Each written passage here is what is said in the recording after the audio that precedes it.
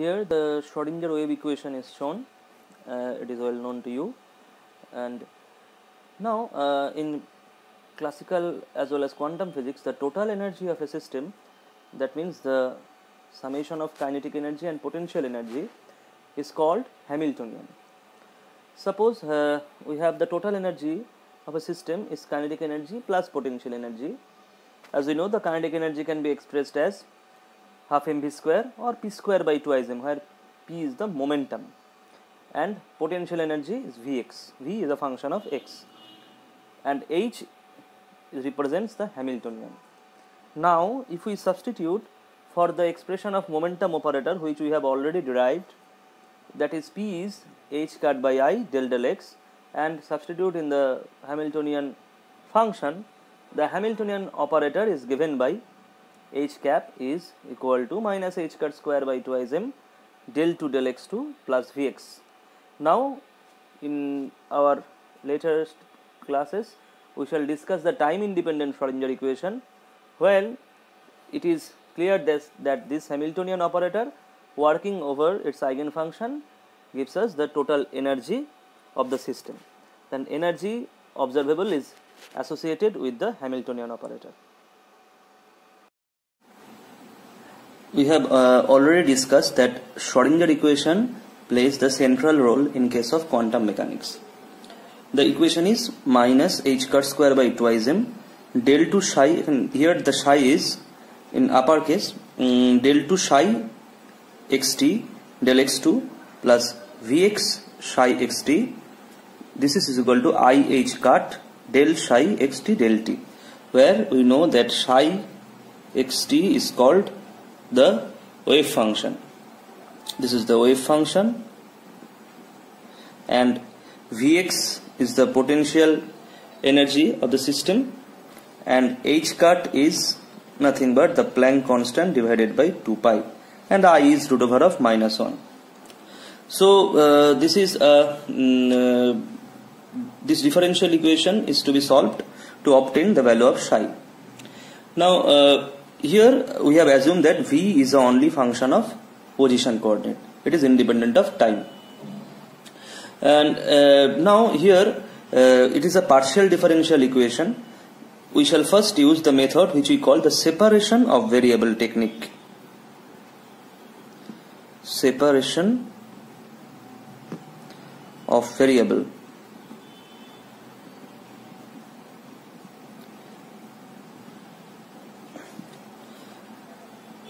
To treat this partial differential equation. As we have seen that psi xt is a function of both position and time let us assume it is uppercase psi. Now let us assume this is a simple product of two functions. This psi is in the lower case. It is psi. And phi as a function of t only look here psi xt is a function of both position and time it is a simple product of two functions where psi is only a function of position x and phi is only a function of time. Now using this we shall treat this equation. Now from here we are going to obtain the value of del psi del t. Now from this is called number 2 and this is number 1.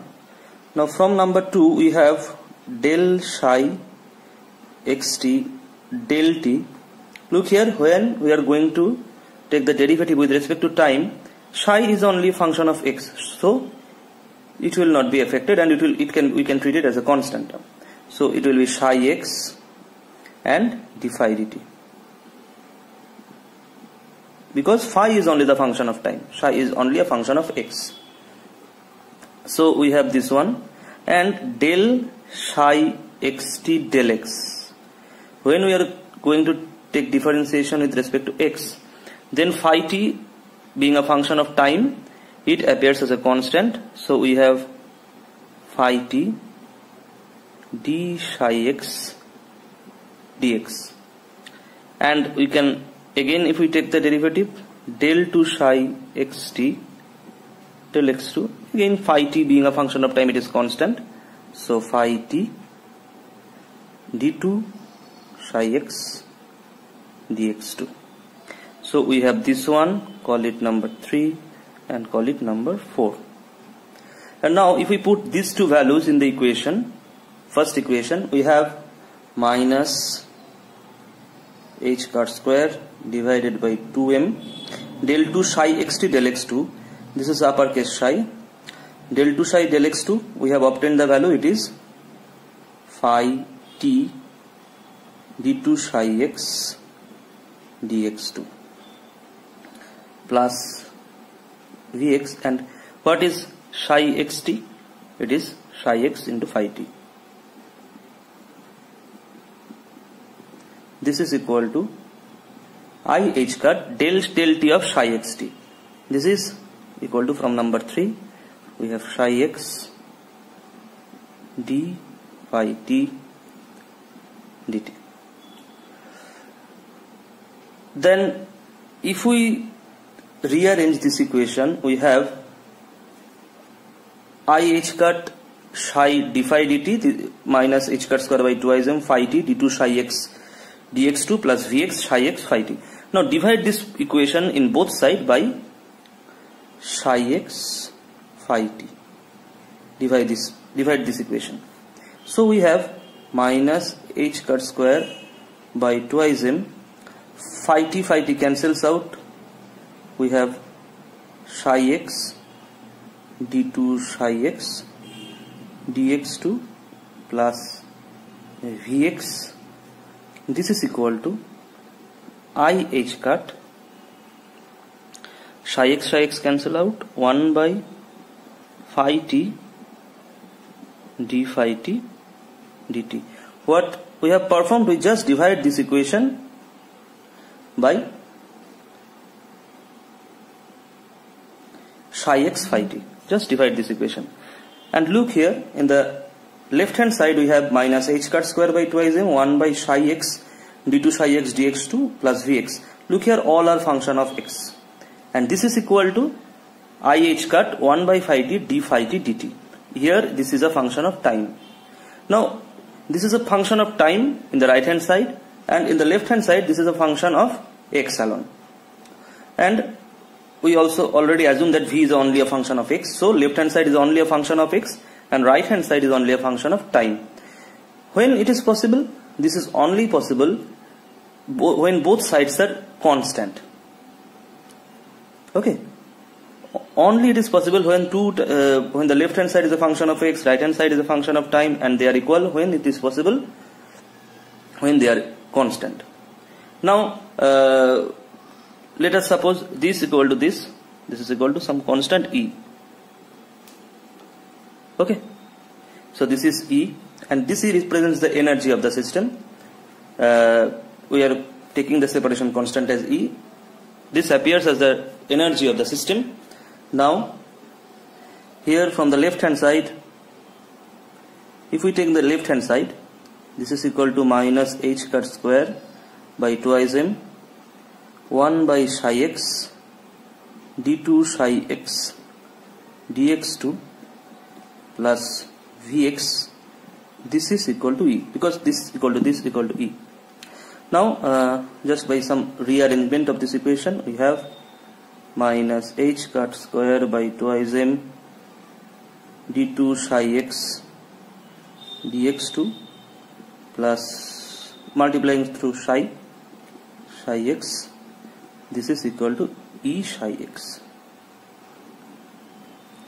So look here our partial differential equation the Schrodinger equation which was a function of psi xt here it is only a function of x here.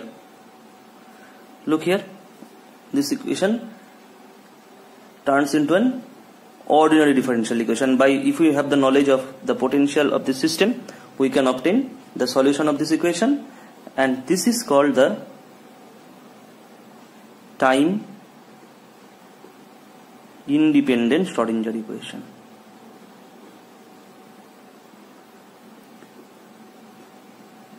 And by solving this equation we can obtain psi x. okay so uh, differential equation again we have from the left right hand side i h cut 1 by phi t d phi t dt this is equal to e look at this is again straightforward. It is d phi t by phi t minus i e by h cut just taking here dt and if we integrate it in both side we have this is ln phi. It and it is minus iet by h cut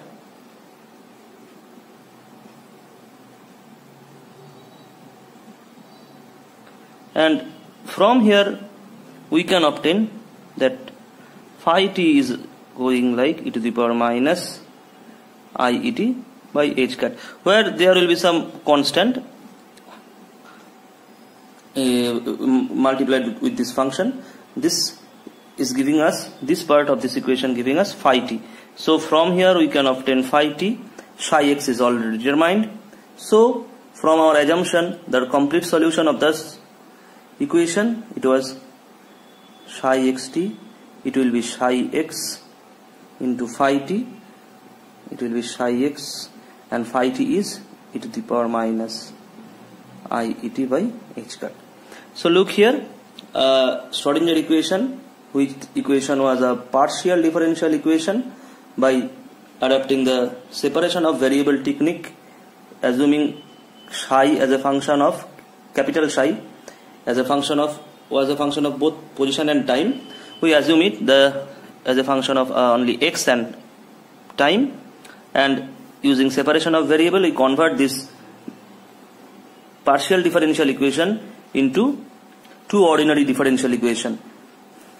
This is the x dependent equation and this is the time dependent part.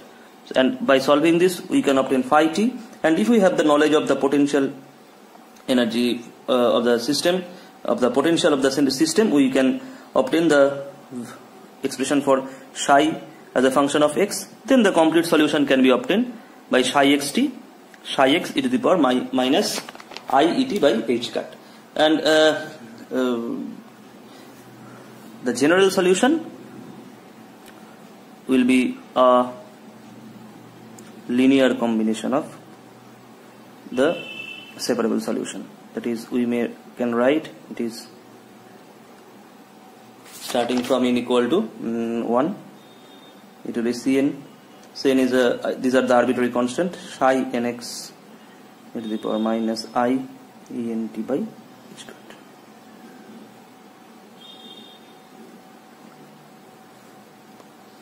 so by this method we can obtain the solution for the Schrodinger equation